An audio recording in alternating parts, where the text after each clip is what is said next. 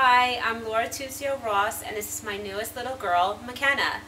MacKenna is six months old, and she just cut her two little teeth. She has a longer auburn wig with little curls on the bottom and a sprout on top, and she has greenish hazel eyes.